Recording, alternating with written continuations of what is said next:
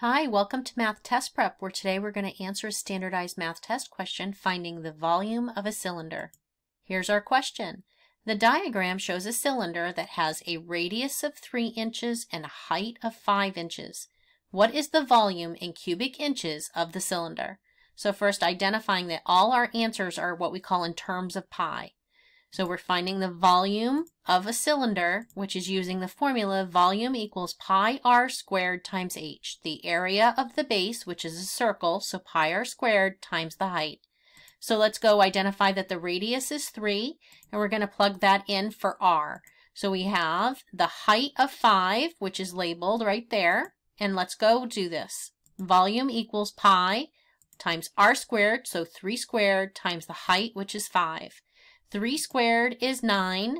9 times 5 is 45, and 45 times pi gives us an answer of C.